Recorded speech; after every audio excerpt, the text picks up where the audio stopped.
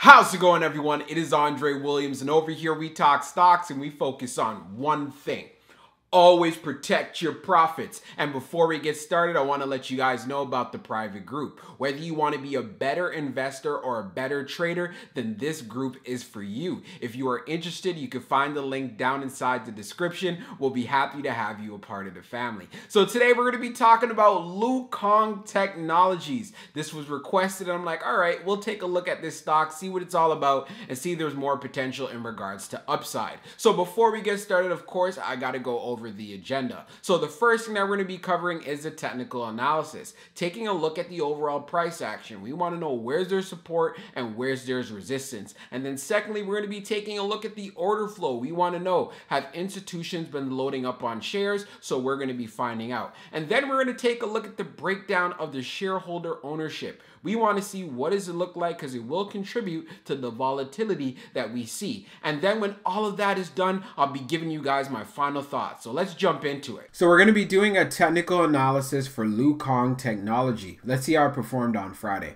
So it ended up closing at $2.12, being up 13.37%.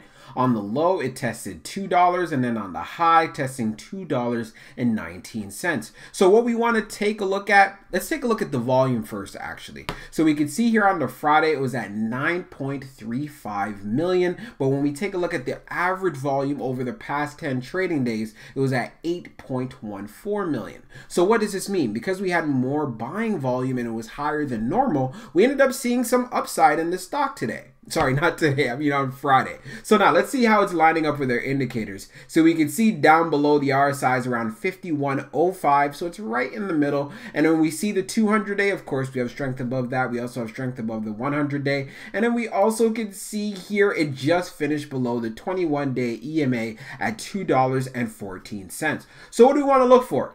So again, what we're looking for is momentum. If it looks like in regards to the volume, it's going to be good. And you can notice this right away when you take a look at how it's doing in the pre-market, then there could be a move to the upside here. But do keep in mind, this is a stock that popped all the way up to this $3 level until it hit an area of resistance. And because we had some selling pressure, it's kind of just sold off. And you can see it's gotten down to as low as a dollar and 81 cents. But again, this is really at a time when a lot of penny stocks and as well as smaller cap growth stocks ended up experiencing pullbacks, right? So we can see it's kind of just recovered. And what I want to see is this $2 level going to hold up? If $2 can actually hold up, then we can look forward to seeing some moves going past this 219 that was the area of resistance on the Friday. So what does this look like? Making that move going into the 220s. This will be another area where there will be some resistance, but if we can get past that, what I'll be looking forward to is seeing a strong move going up to 238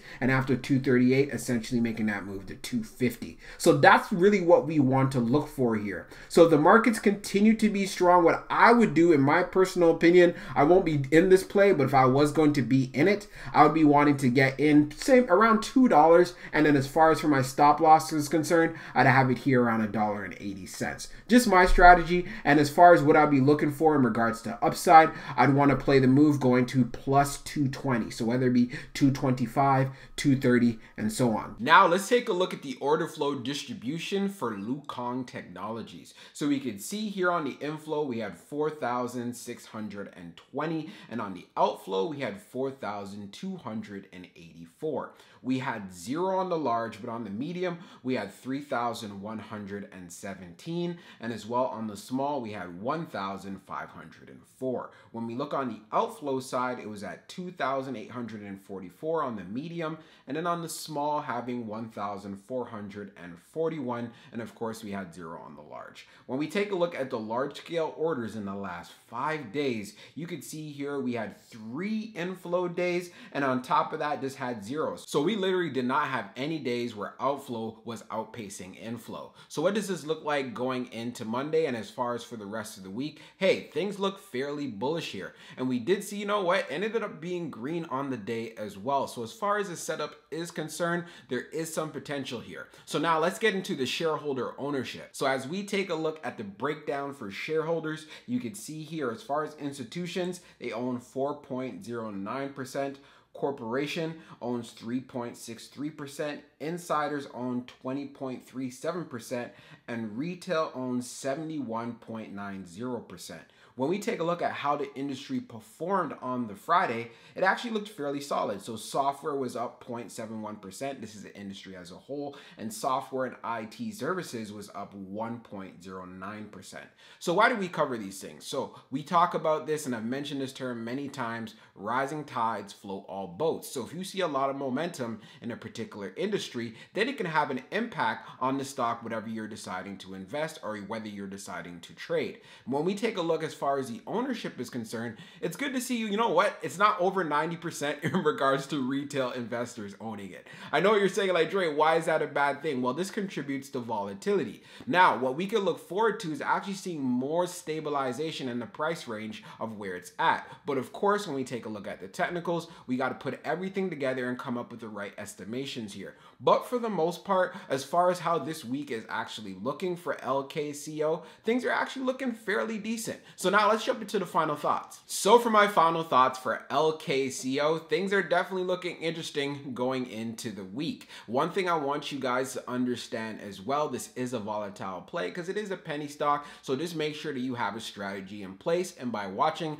the technical analysis, it should be able to help you with that. The next thing to go over as far as the short interest, when I was on FinTel and I took a look, it was around 35%.